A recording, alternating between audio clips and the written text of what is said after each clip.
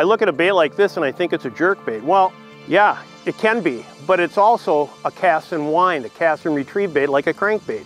One of the easiest ways to catch a fish is to be able to deliver a bait, cast it out, and just wind it in. You want to be able to relax when you're fishing. You want to have fun, but you still want to be successful. And people that throw crankbaits know the value of a crankbait in certain situations that you can convert a fish that is trying to bump that bait and trying to stop. If you have a single hook jig, for instance, like a swim bait, he either gets it or that fish doesn't get it. He's got to get all the way up and committed. When you're fishing a soft plastic swim bait, and I fish a lot of them, and so do a lot of my buddies successfully, but the only problem is, is when you get a nipper that comes up and just won't commit, you stop that soft plastic bait and that lead headed jig takes it right to the bottom. A negative fish typically is a nipper. He'll bump the bait and you, you wonder how he doesn't get stuck. That's the advantage of treble hooks. This one's coming along, you stop it, you rip it ahead, let the bait rock, level off, and you convert those nippers into a positive catch.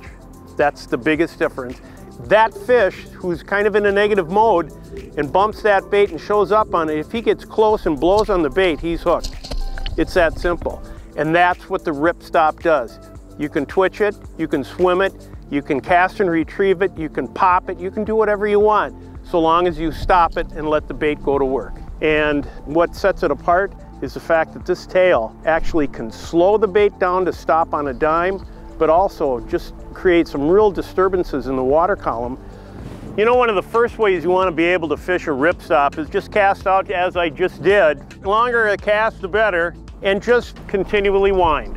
As you go along, you can play with it and pop it, pause it, pick up the slack, rip it, pause it, pick up the slack. You know, oftentimes we've learned over the years, you can have fish that will trail a bait and never bump it and nose it. So it's really important to vary your retrieves as you go. And this bait allows that because of the suspension characteristics built into the bait. It's just like a jerk bait. You can take a husky jerk or an X-Rap or a Shadow Rap.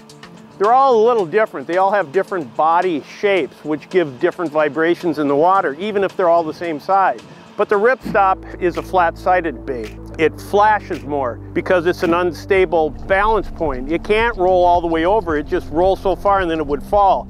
So when it rewrites itself, it's getting that real quick flashing action. That's why it's so very important just to vary your retrieve as you're fishing the bait. And I'm just ripping it forward maybe about a couple of feet at a time and letting the bait stop. And while it's stopping, it's rocking, head up, body catches itself and it sits suspended. It's just very, very easy for everybody. You don't have to be an advanced angler to fish this bait correctly.